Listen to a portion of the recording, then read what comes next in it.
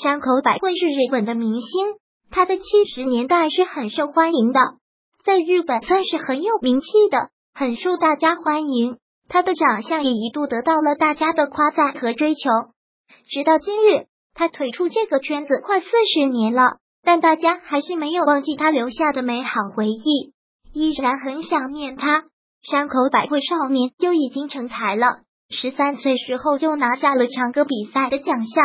十五岁时候唱的一豆的舞女，吸引了众多一线明星，包括当时的梅艳芳和张国荣等人。不得不说，她的实力相当让人羡慕。小小年纪就已经跻身到一线了。这个时候，她还遇到了人生中的另一半山口百惠，和先生相处了整整六年，最后走到了一起。在山口百惠二十一岁的时候，就宣布退出圈子，过起了简单的生活。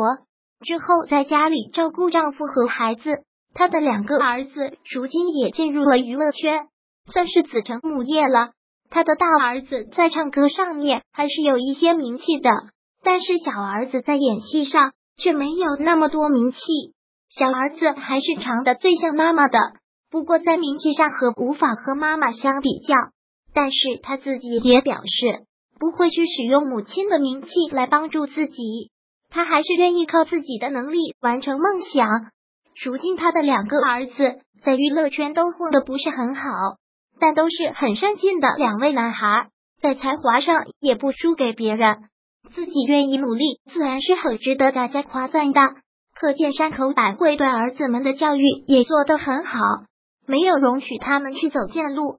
山口百惠这么多年都不在圈子，大家从他的儿子们口中。也做了一些了解，他们表示妈妈都要忘记当年的自己了，看来是真的过上了闲云野鹤的生活。